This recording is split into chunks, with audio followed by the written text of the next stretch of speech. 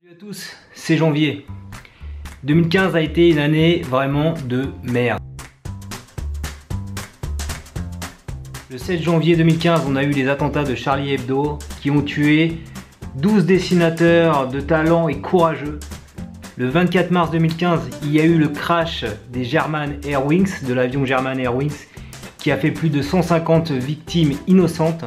Et enfin, le 13 novembre 2015, il y a eu les attentats à Paris, au Bataclan, qui ont fait 130 victimes. Parce qu'il vaut mieux rire de 2015 que d'en pleurer, les dessinateurs du site Urtican, Iconovox, vous offrent 100 dessins à consulter sur iPad, Kindle, sur votre smartphone, gratuitement, dans le pire de l'année 2015. Quand c'est toi qui dessines à Charlie, c'est moins drôle. J'ai peur de l'avion, mais tout le monde a peur de l'avion. Oui, mais moi je suis pilote. Génial, j'ai trois nouveaux followers sur Twitter. Je vous remonte mon dessin préféré. Voici tous les thèmes traités dans l'ouvrage, donc le pire de 2015.